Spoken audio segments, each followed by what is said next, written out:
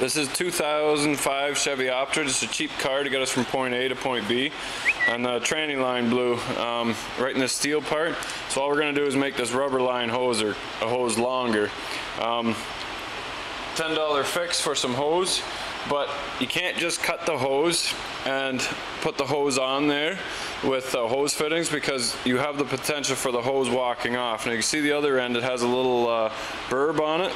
So if you just take your brake flaring tool and just put a little bit of an edge on the uh, on the end of it, that will ensure that the hose will never ever come off. You don't need the, the little inserts for it. All you do is just push down on that a little bit and it'll start to bell the end. You don't need much because you still got to get the hose over it. But now, open that up, you see the little bell? Now, that hose with the hose clamp right here will never pop off. Cheap fix, but if you don't do that, that'll leave you by the side of the road and get some environmentalists beside you saying um, how you're gonna clean up all that oil. Here we go.